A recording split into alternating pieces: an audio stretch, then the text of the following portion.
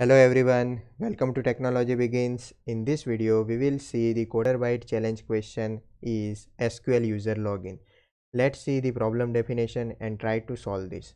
So what problem definition is saying that we have one table is given with ID and one specific date. So we have to write a query which give us the output like this. From that uh, table, we don't have to consider the first month because that first month has no previous month and we cannot get any change from to next month okay? So this is basically our problem definition is uh, trying to say and we have to uh, write a query so that we can get the output like this. So here is the first step of query and in this query i have taken the uh, how many records we can get in particular month. If there is a january month and there are four records available then this will give us the one column as a month name and one column as the total count. Okay. So this is the month name function which give us the name of the month. If num month is one then it will give us the january as a output and this count function will give us the how many records are available in that particular month.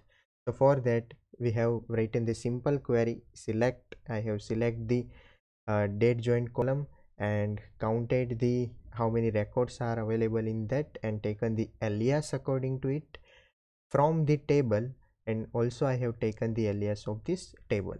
And after that i have put the group by on the date joint column with the month name function. So we can combine that output because there is a multiple records are available in that particular month. Because there is if there is a month is january then there is a four records are available. So you have to group by that with month name. So that particular month will have this four records or february will have the three records like that. And after that there is a order by. So we need to put this in particular order right so we have this putted in the particular order like january february march using the date joint. So this will give you the in ascending order one two three four like that. So here is the output. So you will get the uh, better idea about that. So from that query you will get this output. So basically our purpose is to understand how we can solve this question and how we can think on this and how we can write the particular uh, query for that. So currently we have get the total count of uh, each and every month right? So now we have to count the previous month. So basically what we have to do is we have to uh, uh, show the change from one month to the next okay? Like that if we have in january there is a four records in, in february there is a three records. So what is the change of that? That is minus one. So you have to show that. So for that uh, you have to understand how we can get the total count and how we can get the previous month count okay? And then after you can subtract them and your output will be there. So let's see. This is the second step of the query and here we will get the previous month count with the total count. So for that i have written the inner query. Other than that there is nothing in that change.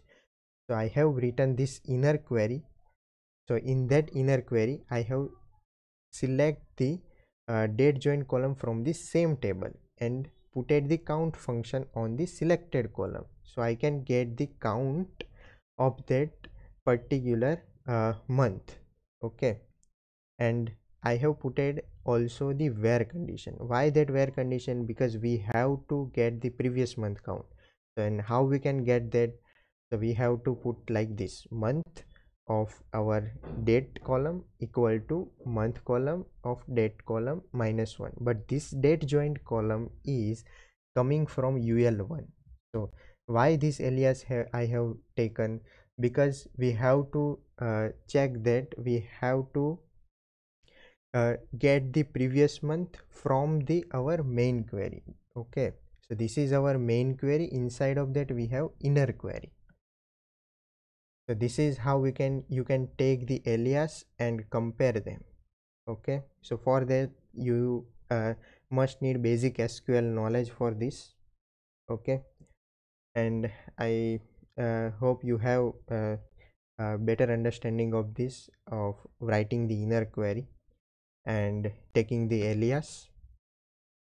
So you have to do like this. So we have taken the uh, date joined from main query and we have taken the date joined column which is in the inner query. And from the main query we have to uh, do the minus 1 so we have we will get the previous month count okay? Only the previous month count.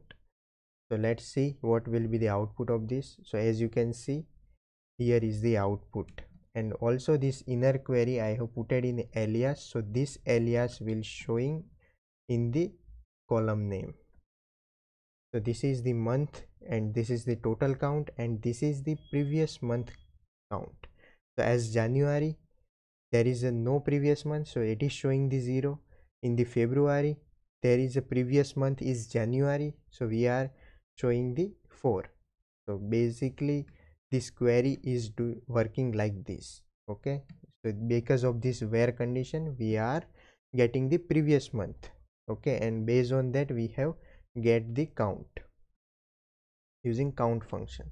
So now what we have to do we just need to subtract this. And as uh, our definition is saying that we don't need to uh, add this january month because uh, this january month have no preceding month right? It has no previous month. So what we have to do we have to put just minus here. Okay our query is same. Here we have taken the alias of total count for this. As you can see in the previous query we have taken the as total for the alias but now you have to subtract this total uh, this total date joint subtraction and you have to put this query. So this will give you the subtraction of total minus previous month counts. Okay i hope you are understanding this and if you are putting this minus then this will give you the subtraction of this two thing these two counts. Okay so you, basically we need to do the subtraction of these two column.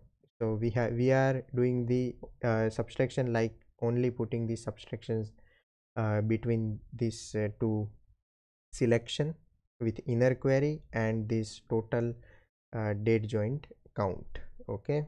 So this will give you the proper uh, output. But for that you have to must write the condition that you don't need to include the january month to get the desired output according to your challenge.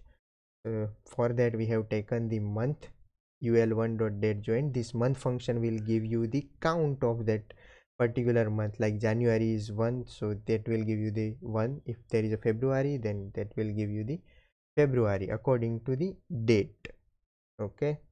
I hope you have understood the concept of month name and month.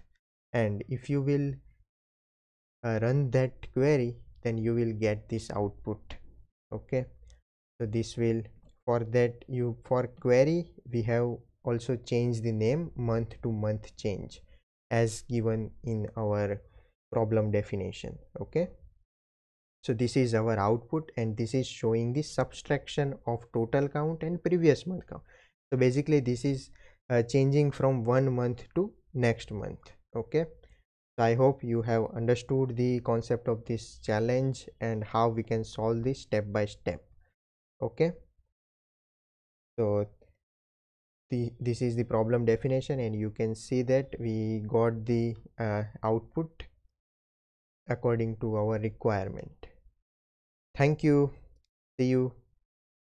And if you like my uh, video then please like us. And if you do not subscribe my channel yet then please subscribe my channel and press the bell icon for next updates. Thank you